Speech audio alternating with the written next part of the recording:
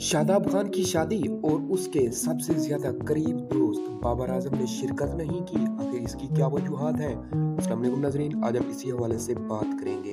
Pakistan super league के आठवें addition में पिशावर जलमी की क्यादत करने वाले बाबर आज़म मुसलसल तीसरे दिन नेशनल स्टेडियम कराची में अपनी मशकें जारी रखी।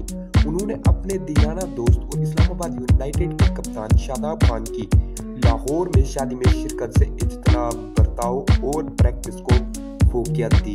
दूसरी जानब कोयटा ग्लैडिएटर और इस्लामाबाद यूनाइटेड की टीमों की नेशनल स्टेडियम पर पहले ही प्रैक्टिस सेशन मंसूख करने की वजह भी शादाब खान की शादी ही निकली। मीन्स के इस्लामाबाद यूनाइटेड और बहुत से प्लेयर्स ने अपना प्रैक्टिस सेशंस को मंसूख किया और शादाब खान की शादी में चले गए।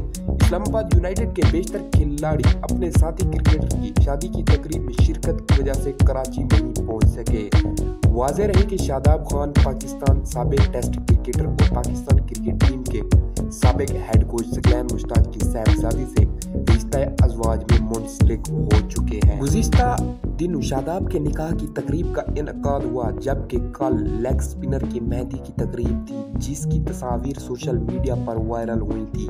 जबकि हसन अली की अहलिया ने इंस्टाग्राम पर एक वीडियो भी शेयर की, जिसमें वो शादाब खान को हार पहना रही थी।